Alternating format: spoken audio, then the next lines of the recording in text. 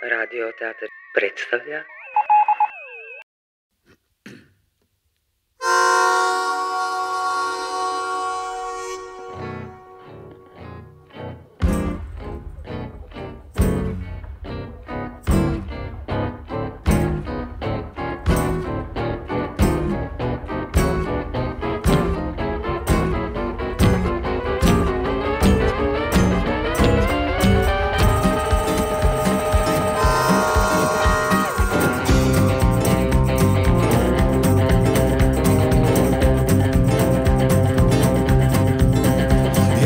voz. Sa 30 vagona jurim Daleko sam od svoje kuće Teret sav sa sobom vučem Jurim prema tebi moram Što pre stići da te vidim Ja sam voz.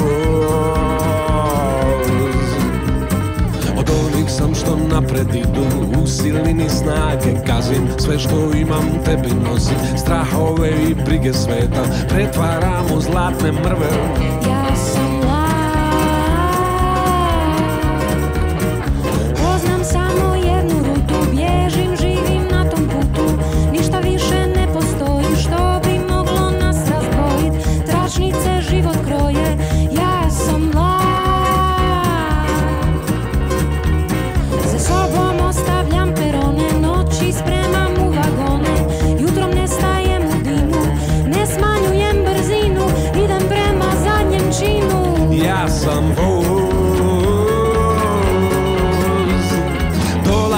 Dolazim da činim ono što smo rekli jedno drugom Da nam pripada od jučer Hoćemo li biti sutra Zajedno na istom mestu? Ja sam mlad. Pravac kojim tebi idem Samo da na vrijeme stignem. Čekaj me dok skupim snagu U brzini svjetla sile Nevolje pod petom gazim. Ja sam vlak tebi koja nemir si mi samo dala. Da li želim da se vratiš Glava mi u torbi spava? Da li želiš da se vratim? Ja sam voz